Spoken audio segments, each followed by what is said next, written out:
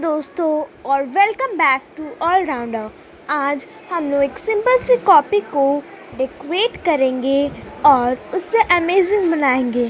तो जल्दी से शुरू करते हैं। उससे पहले हमारे चैनल को लाइक सब्सक्राइब और शेयर ज़रूर करना।